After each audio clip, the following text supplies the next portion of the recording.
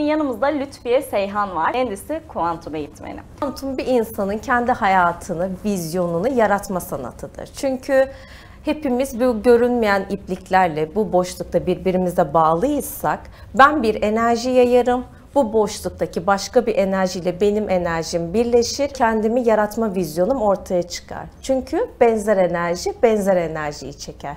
Ne yapmam gerekir?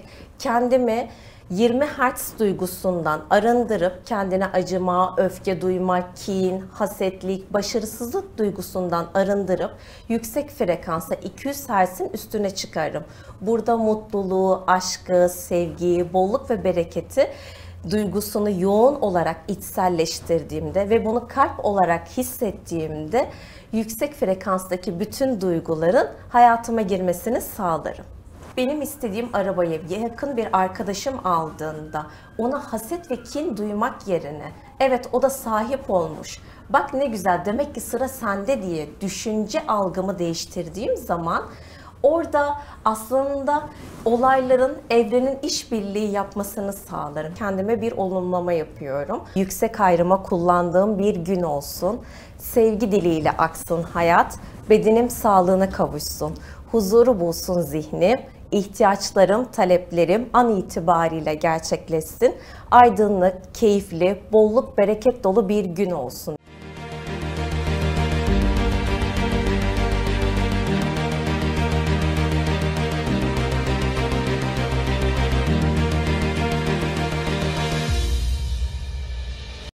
Sayın seyirciler, Üniversite TV ekranlarından Mesleki Gündem programıyla karşınızdayız.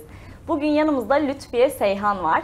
Kendisiyle çok akıcı, çok ilgi çekici bir sohbette bulunacağız. Çünkü kendisi kuantum eğitmeni. Hoş geldiniz Lütfiye Hanım. Merhaba, hoş bulduk. Ee, nasılsınız? Teşekkür ederim, siz nasılsınız? Teşekkür ederim.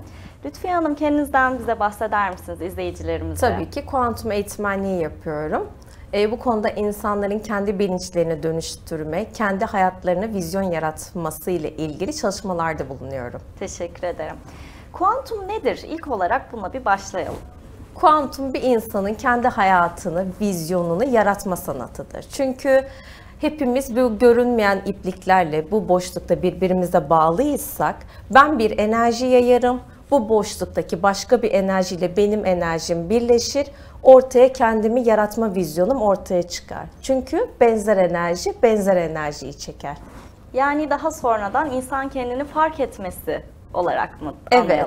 Çünkü e, ben düşüncelerimle, titreşimimle yaydığım enerjiyi sabah örneğin e, aynada suyu kodlayarak içtiğimde, düşüncelerimle suyun kodunu değiştirdiğimde, düşüncelerimle eğer suyun kodunu değiştirebiliyorsam, düşüncelerimle de o kuantum havuzu dediğimiz sonsuz olasılıklar havuzunun kendi hayatımda neyi istiyorsam e, onu enerji olarak aktardığımda kendi gerçekliğim olarak hayatıma çekmemi sağlar. Anlıyorum. E, kodladığımda dediniz. Evet. Bu olumlama mı oluyor? Evet. Mesela e, nedir bu olumlama? Bize açıklar Ben her sabah kendime şöyle bir olumlamalar yapıyorum. Mucizelerin sunulduğu, bunları alıp yüksek ayrıma kullandığım bir gün olsun. Sevgi diliyle aksın hayat, bedenim sağlığına kavuşsun. Huzuru bulsun zihnim, ihtiyaçlarım, taleplerim an itibariyle gerçekleşsin. Aydınlık, keyifli, bolluk, bereket dolu bir gün olsun diye kendime bir olumlama yapıyorum. Çünkü burada titreşimi yüksek frekanslı kelimeler kullanarak kendi titreşimimi artırarak böylelikle gün içinde yaşayacağım olay, durum, kişilerin yüksek frekanstaki olay, durum ve kişiler şeklinde hayatıma gerçeklik şekilde girmesine niyet ediyorum. Çünkü ben kendi gerçekliğimi ne kadar titreşimi yükseltirsem hayatıma giren insanlar da yüksek frekanslı olaylar olacağı için kendi gerçekliğimi daha mutlu, huzurlu bir şekilde gerçekleştiririm. Ne kadar güzelmiş. Ben de kullanacağım bunu bundan sonraki Teşekkür hayatımda. Ederim. E, hayatımıza çekiyoruz dediniz. Evet. İşte yüksek frekanstaki insanları ve olayları. Hayatımızın kumandası bizim elimizde mi yani? Evet, bizim elimizde. Şimdi diyelim ki ben e, bir televizyon kanalını izliyorum ve o televizyon kanalı bana hitap etmiyor ya da hoşuma gitmeyen bir şey var. Ben ne yaparım? Kumandadan başka bir kanalı seçerim. Öyle evet, değil mi? Tabii. Çünkü kumandada en az 500 tane kanal var. Ben seçimlerimi bak kendimi beğenmeyerek değiştirdiğimde, kumandayı benim elime tuttuğumda, başka bir e, frekansa geçtiğimde demek ki hayatın kumandası benim elimde. O zaman ne yapmam gerekir? Kendimi 20 Hz duygusundan arındırıp kendine acıma, öfke duyma, kin, hasetlik, başarısızlık duygusundan arındırıp yüksek frekansa 200 Hz'in üstüne çıkarım. Burada mutluluğu, aşkı, sevgiyi, bolluk ve bereketi duygusunu yoğun olarak içselleştirdiğimde ve bunu kalp olarak hissettiğimde yüksek frekanstaki bütün duyguların hayatıma girmesini sağlarım. Bunu evet hepimiz yapmayı çok isteriz. Ee, Herkes dediğiniz gibi yüksek frekansta yaşamak ister. Ama bunu nasıl yapacağını bilmiyoruz. Bilmiyoruz. İzleyicilerimize biraz bahsedebilir misiniz? Tabii ki. Şimdi ben e, sabah kalktım diyelim. E, sabah gelen ilk 5 ile 10 saniye benim gerçeklik yaratımımı oluşturur. E, telefonuma bir mesaj geldi, enerji frekansım düştü. Yolda giderken kaza yapan bir araca denk geldim, enerji frekansım düştü. İş yerine gittim, patronum bana kızdı, enerji frekansım düştü. E ne oldu? Gün içinde bütün karşılaşacağım durumlar düşük frekanslı, düşük, düşük titreşimli olaylar oldu. Ama ben sabah kalktığım andan itibaren kötü diye nitelendirdiğim olayları bana öğretmek istediği dersleri, benim hayatımda nasıl bir ders vermek istiyor, benim hayatımda neyi yaratmamı sağlıyor. Bu şekilde gördüğümde kendime frekansını enerji çubuğu şeklinde mıknatıs görevi gördürür. Yüksek frekanstaki duyguların hayatıma girmesini sağlarım. O zaman ne olur? Kendi gerçekliğini yaratma vizyonu ortaya çıkar. Teşekkür ediyorum. Ee, inançlarımız kendini gerçekleştiren kehanetler midir? Evet. Şimdi ben e, sabah diyelim ki olumlamalar yaptım. Sonra dedim ki evet ben olumlamalar yaptım. Ben diyelim ki bir araba istiyorum. E, orada benim istediğim arabayı yakın bir arkadaşım aldığında ona haset ve kin duymak yerine evet o da sahip olmuş. Bak ne güzel demek ki sıra sende diye düşünce algımı değiştirdiğim zaman Orada aslında olayların evrenin işbirliği yapmasını sağlarım. Yani tamamıyla aslında benim hayatı nasıl gördüm, nasıl değerlendirdim, düşüncelerimle ilk farkındalığımı nasıl oluşturmamla alakalıdır. Temelde iyi insan olabilmekle mi alakalı acaba? Evet, eteğimdeki taşları dökeceğim.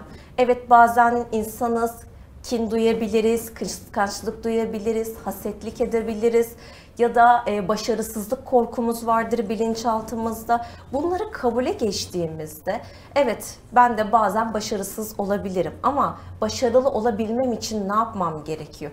Bunun olumlamalarını yaptığımda, niyetimi güçlü bir frekansla eşleştirdiğimde, başarıya giden daha önceki insanları takip ettiğimde, onların yollarını izlediğimde kendi gerçeklik yaratım vizyonumu gerçekleştiririm. Çünkü gelecekte bir kişi nasıl bir kişiliğe sahibim? Başarılı, çalışkan, etrafımı beni seven insanlarla mı dolu olmasını istiyorum? O zaman güçlü bir niyet yazarım. Geçmişe takılı kalmam. Şu anın keyfini tıpkı gelecekteki istediğim insanmış gibi o kişiliğe bürünürüm. O kişinin enerjisini giyerim. Tıpkı bir elbise gibi. Nasıl bir elbise giydiğimizde üzerimize tam olmasını isteriz değil mi? Tabii. O zaman gelecekteki isteyeceğim kişiliğin de benim üzerime bir elbise gibi giydiririm. Ve derim ki ben başarılı bir insan olmak istiyorsam temiz bir niyetle etrafımdaki diğer insanlara da faydalı olmasını istiyorsam ben o kişiliğe bürünen bir insan olurum. Frekansımı yükseltirim ve istediğim her şeyi kendi hayatıma çekerim. Çünkü ben düşük duyguda bulunursam, isteğim de benden yüksek bir frekansta bulunursa ne olur? E, maddeyi madde olarak etkileyemem. Maddeye ancak enerjiyle, yüksek titreşimle, sevgi, aşk, mutluluk, huzur, başarı duygusuyla etki yapabilirim. Yani biz ne verirsek Evet, onu mu alıyoruz? doğru. Bir gün dervişin biri bir köye gidiyor. Herkes diyor ki buraya bu köye yabancı insanlar giremez diyor. Yabancılar diyor kendini bilmediğimiz insanlar. Derviş de diyor ki ben kendimi biliyorum ya önemli olan o diyor. E Kesinlikle. şimdi baktığımızda Allah diyor ki ben yeryüzünde halife yarattım diyor.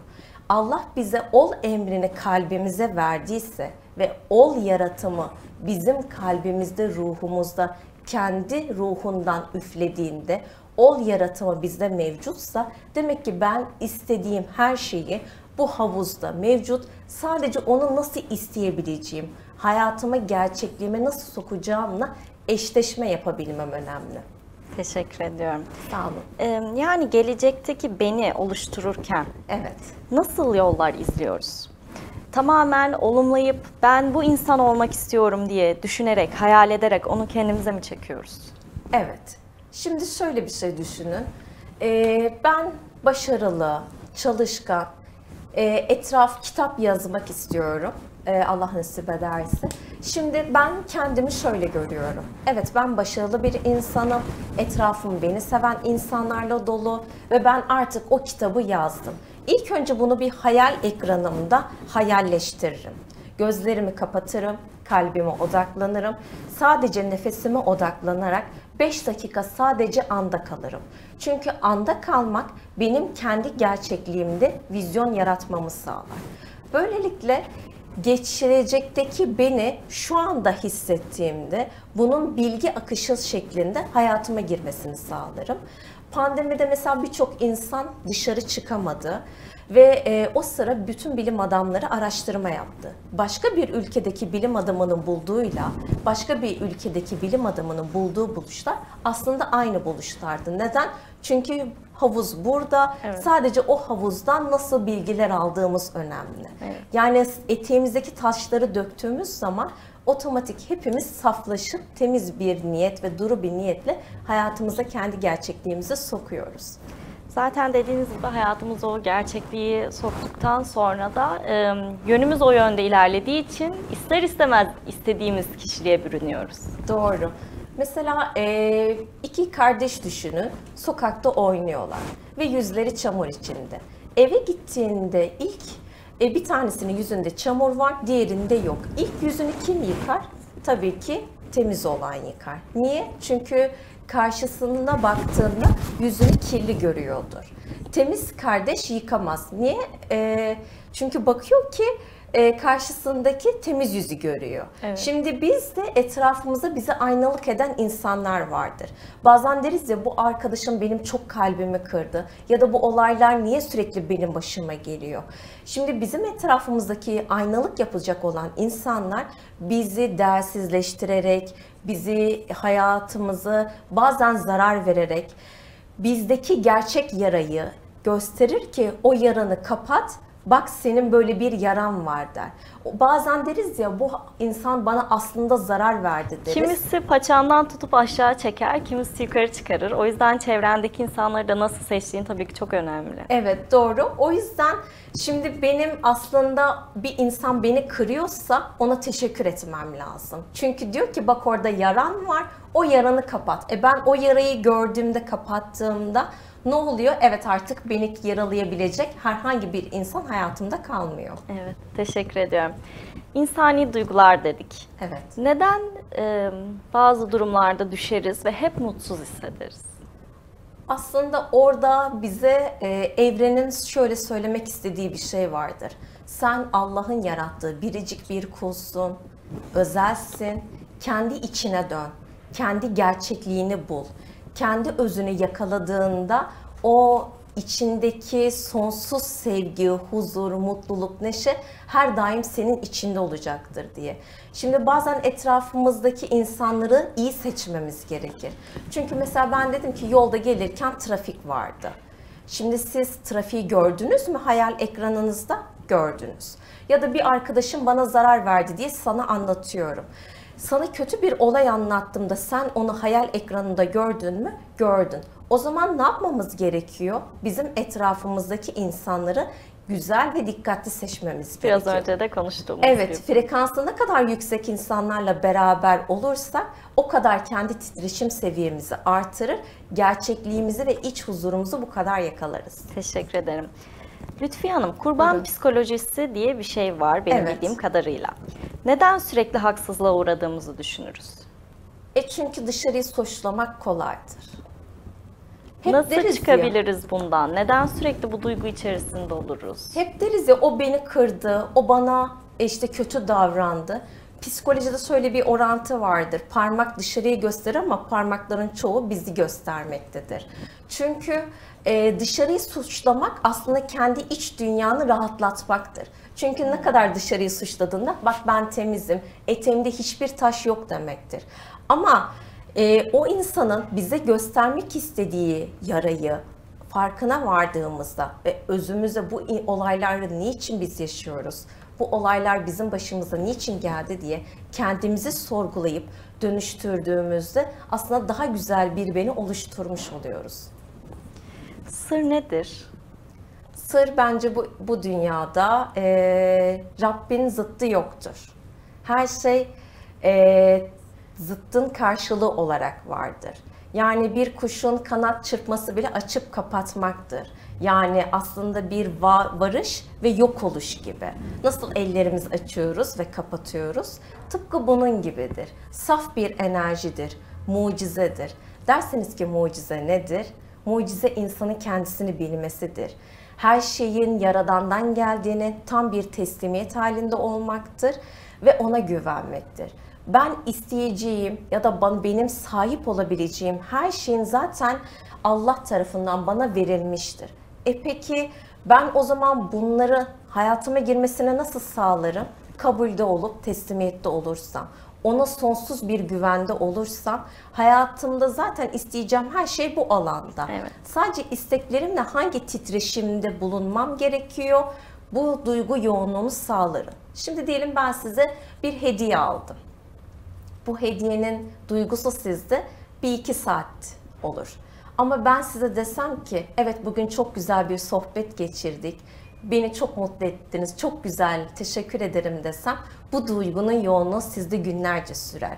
O halde ben isteklerimi madde olarak etkileyemezsem ne yapmam gerekir? Duygularımla, düşüncelerimle, kalbimle, maneviyatımla etkileyip hayatıma çekebilirim. Teşekkür ederim. Ben teşekkür ederim. Hayatımıza çekmek dedik, evet. enerji dedik. Peki hastalıklar e, biz mi yaratıyoruz sizce? hastalıkları biz yaratıyoruz. Çünkü dedik ki iyi biz oluşturuyoruz. Evet. Ee, güzel şeyleri kendimize çekiyoruz. Hastalıkları da mı biz çekiyoruz? Aslında olmasını istemediğimiz her şeyi bilinçaltı düzeyinde biz istiyoruz. Çünkü diyoruz ki ben bunu istemiyorum. Ben bunu istemiyorum. Sürekli bir istemiyorum kelimesi. Evren diyor ki evet bunu istiyor, bu duyguyu tatmak istiyor, bu duygunun yoğunluğunu bilmek istiyor diyor. Çünkü enerjiyi oraya akıtıyor.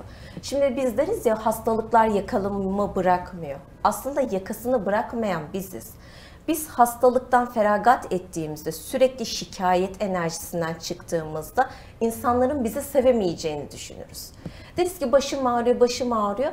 İnsanlara şikayet ederek kendi duygularımızı, insanların bizimle ilgileneceğini, bizim üzerimize titreyeceğini düşünürüz. Ama şikayet enerjisinden çıkıp yüksek frekansla insanları etkilemeye çalıştığımızda mutlulukla, sevgiyle, aşkla, sohbetle aslında zaten o insanlar bizim hayatımızda zaten olacaktır. Olmayacağı varsa da zaten hayatımızdan çıkar. Teşekkür ediyorum. Sağ olun. Son olarak dünya bizi yansıtan bir ayna mıdır? Ben buna katılıyorum. Çünkü hepimizin aynalıkları var. Ben başka bir suretle sizin karşınızda oturuyorum. Siz benim bir karşımda oturuyorsunuz. Hepimiz birbirimize görünmez ipliklerle bu sonsuz havuzda bağlıysak evet dünya bizi yansıtıyor. Sonuç olarak biraz önce de konuştuğumuz gibi ben size nasıl bir duygu yansıtıyorsam siz o şekilde bana geri dönüş yapıyorsunuz. İsteklerimizi bu şekilde çağırıyoruz. E, güzel şeyleri veya kötü hastalıkları çağırıyoruz. E, size son bir sorum daha olacak. Buyurun. Şahsi olacak bu. İlgileniyorum. E, hastalıkları çağırıyoruz dedik. iyilikleri çağırıyoruz dedik. söylediğimiz sözlere mi dikkat etmeliyiz? Evet. Derler ya sözler senin geleceğini oluşturur diye, kelimelerine dikkat et diye. Peygamber Efendimiz bir söz söylemiştir. Ya hayır konuşun ya susun diye. Susmak sadece dil olarak değil, zihnimizi de susturmamız gerekir. Çünkü bazen e, araç kullanırken zihnim susmuyor. Sürekli konuşuyor işte şimdi buraya nasıl gideceksin, şimdi bunu nasıl yapacaksın. Ben orada zihnimi susturmaya başardığımda, oradaki anı gördüğümde, atıyorum kendimi nasıl geliştirmek istiyorum. Oradan bir söyleyişi ya da bir müzik açtığımda kendi o anlık trafiğin yoğunluğundan ziyade anda kalmanın farkındalığını yaşadığımda otomatik zaten kendi mutluluğumu oluşturmuş oluyorum. Etrafıma da o enerjiyi yayan insanları bana gelmesini sağlıyorum. Teşekkür ediyorum. Yayının teşekkür başında da ederim. söylediğim gibi çok ilgi çekici bir sohbetti. Teşekkür ediyorum. Çok sağ olun. Ee, Bugün Lütfiye Seyhan'la beraberdik Mesleki Gündem programımızda. Kendisiyle kuantum hakkında konuştuk. Bir sonraki yayında görüşmek dileğiyle. Hoşçakalın.